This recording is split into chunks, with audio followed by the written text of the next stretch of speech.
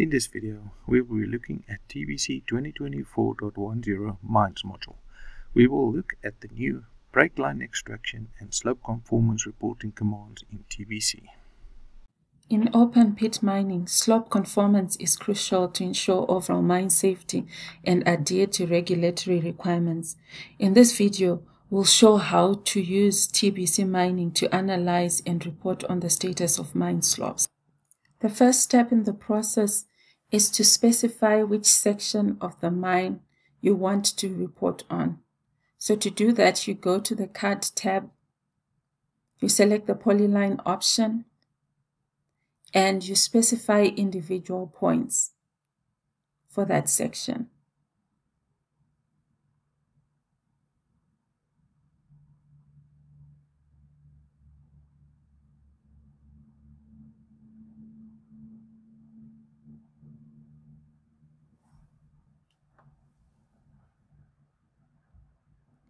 Once that is done, open the Mines tab and click on the Extract Mining Breaklines option.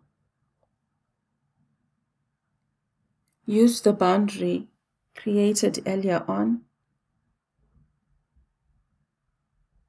and specify the maximum angle within which you want those breaklines extracted from. Instead of entering a value, you can simply specify that angle on the map file. So you select two points and that angle will be generated automatically.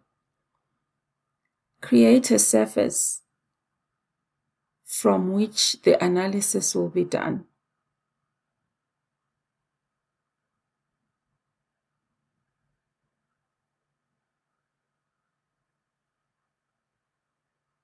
You can deselect the boundary and ensure that only the break lines are extracted and after that a surface will be created from those selected break lines.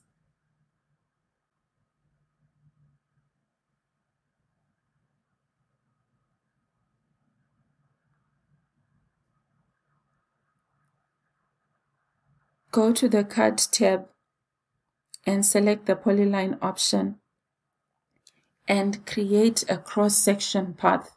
This is the line along which the analysis will be done for the slopes.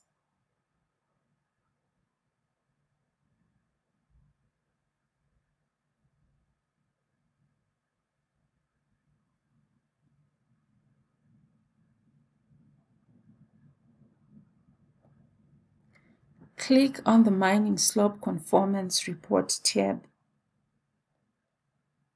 and select a boundary.